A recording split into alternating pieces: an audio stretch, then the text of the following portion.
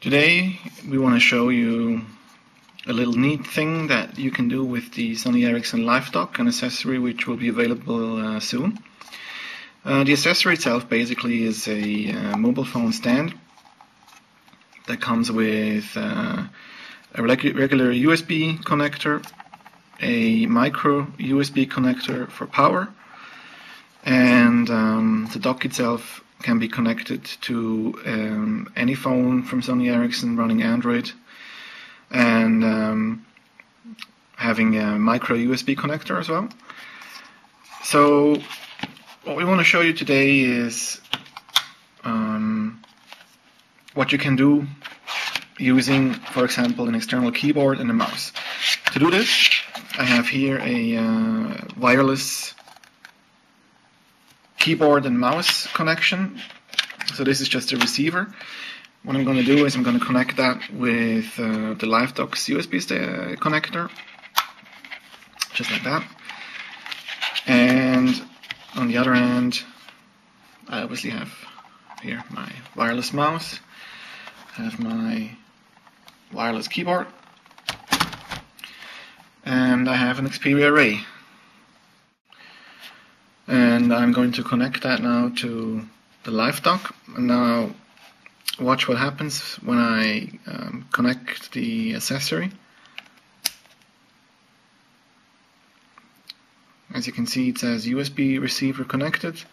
And you can also see that there is now a little mouse pointer appearing in the middle of the screen. And if I use uh, my mouse I can basically use the phone via the mouse, just like on a, on a, on a computer. I can click on icons, um, I can flip through things here using the mouse. Um, the right mouse button actually works as uh, the back button, so clicking on the right mouse button is the same like clicking on the back button here on the phone itself. If I use the middle wheel button here on the mouse, it acts as um, the context menu button, just like the one below here. So there's pretty much um, the same possibilities to use the phone as I have them when I use uh, just my finger to navigate uh, and things like that. Now, this by itself, it's pretty cool, but you cannot really use it. Um, the real usage comes when uh, we go to our keyboard. And to show you this, I'm just going to start um, the color node, the notes application. I'm going to put this on uh, the dock. Now let's say um, you're writing a lot of emails from your phone or you're texting a lot or Facebooking a lot. Um, it's actually pretty neat to have a, a real keyboard connected. So what I can do, I'm just using my arrows now on the keyboard. I can also use them to navigate on uh, the phone through the different menu points. So I want to add a new note.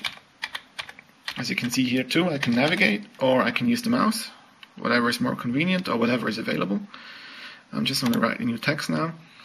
Um, now obviously this works in all applications on the phone, also in email or in, text. I just use the notes for uh, um, easier handling. And obviously I'm much faster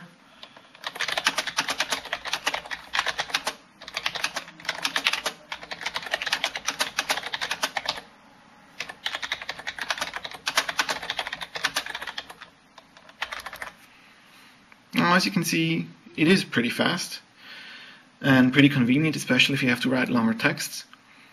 And also on the keyboard you have the possibility to navigate so I can use the escape button to go back. Now it saved my message. One more time I go back and once more I'm out of the application. For some reason the Sony Ericsson home screen does not support um, the landscape mode so I have to switch that here for uh, easier for showing you a couple of more things.